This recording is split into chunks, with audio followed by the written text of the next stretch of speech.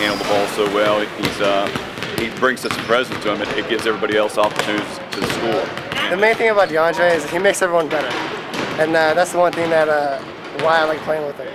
You could uh, we could be down and he, he'll have the ball and and you won't even be looking and the ball hits you right in the chest.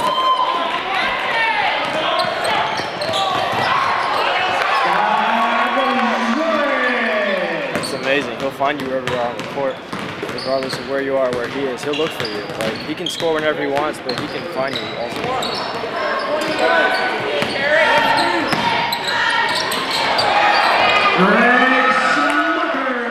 I think I see the floor really well, and I like to find my teammates more than I like to score.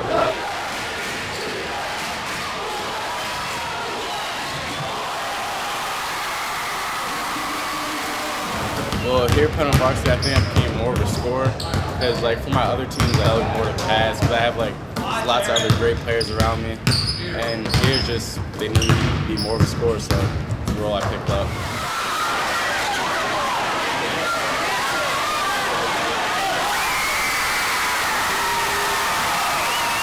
I look for different angles to get to the basket, different spots where I can pull up off the dime and just get the ball in the hoop.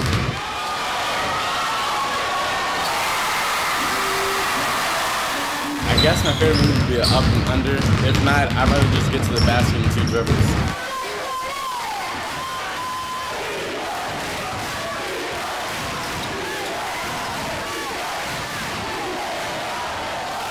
One day we were going over something new on defense. I think he missed like one shot off practice. He probably, if it was a game, he would have scored like 50 points. And it was everything. And the kids were, it's, the wow factor. It's like, are you kidding me? Did he just do that? And, you know, we see that on a regular basis where other people watch and, you know, you see ooh and ah in the crowd, but it's a daily thing that we see. And there's still oohs and ahs when he does it.